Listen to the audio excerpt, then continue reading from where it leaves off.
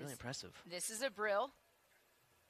It's still alive. McRobb's going to strike it, and that's going to go in for a oh. goal. So a corner kick opportunity coming. McRobb gets his head on it. McRobb gives the Panthers the lead. An example of Finn McRobb's goal is an example of that, and he's got another one. Finn McRobb. It's delivered towards McRobb, and it's cracked in. Finn McRobb is on fire for the High Point Panthers. As far as Yance whips it in, Montour spills it on the doorstep, and it's turned in by McRobb.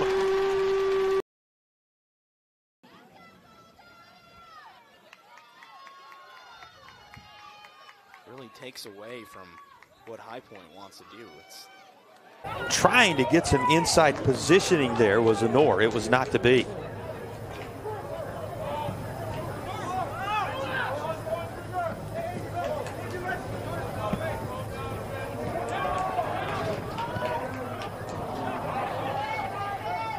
Stepping.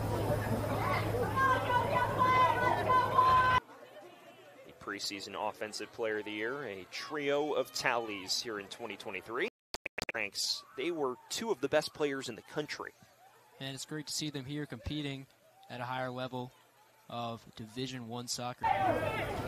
In this first half, the, the shots belonging to Honor early on. Kashi had one.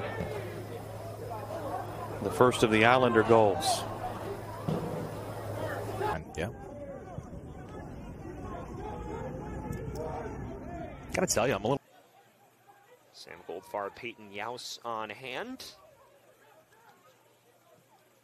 Freshman All American season.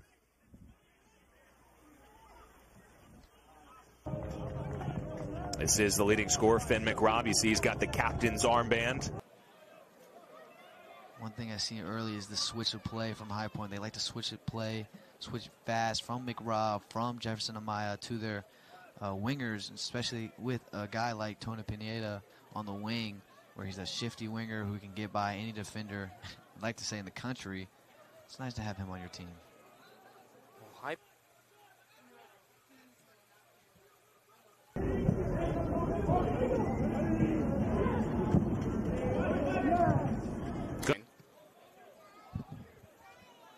a big duo of him and McRobb. Midfield. You love to see it. You love to see it. Great facilities here at the university.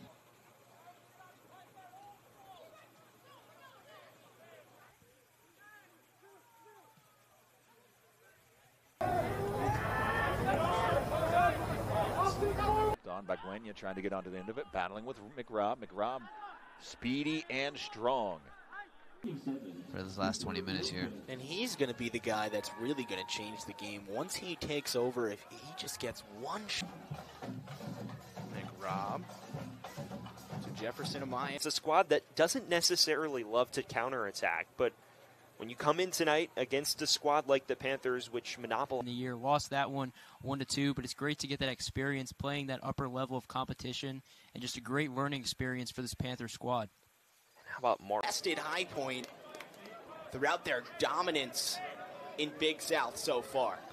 If you want to talk about a confidence booster, Gardner Webb is a team that likes to to play off the counter, likes to play it fast, and at High Point's really good at transition. High Point, it's about passing fast, one, two touches, getting around the defender, nothing too fancy. And High Point's starting to realize that, but the amount of we call it corner throws from a brill.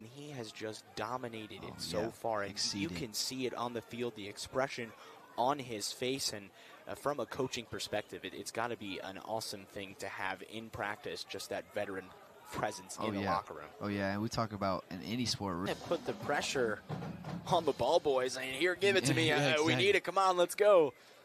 And it's the first half. You usually don't see that to the late in the second, but you could tell Hyper does not want this game to go into uh, halftime. To have that composure to get a goal away from home.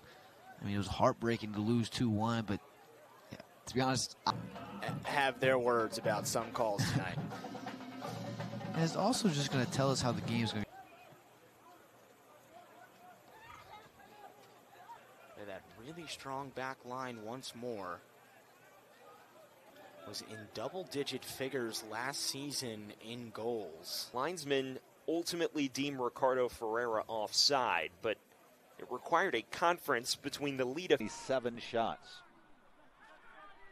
When Yance shoots. This is a fixture High Point has dominated. They have not lost to the Eagles since. Under Zach Haynes, he has a perfect record against this Winthrop squad.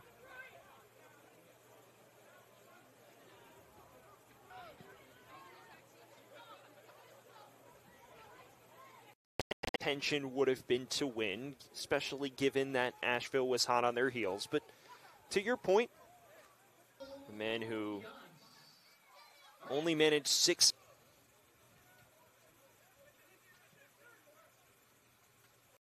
Just four days for them after this game to get themselves in the right frame of mind, take on UNC. Came in for Pineda, as you saw the other when you talk about the type of schedule this team plays.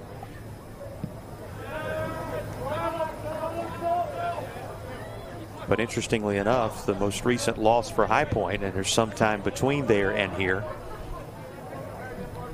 that very Hokie squad. Freshman Karen and ultimately Yance, a little back and forth between this group. Swiped away by Stidham. Rob settles it.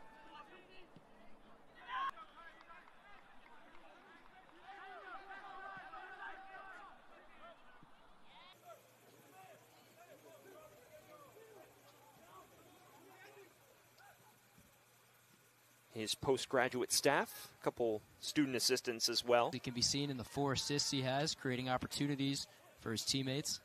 There has been plenty of extended run for reserves.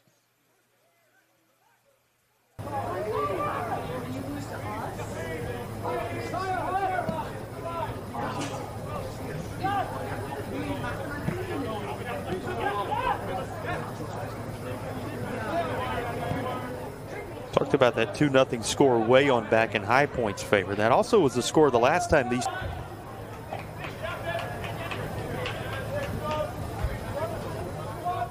And continues a trend of scoring for the Cavaliers have secured something in each of their last six times out, trending. McRobb on the ground. You know it's going to be tough before you put even one non-conference game on the slate. Yeah,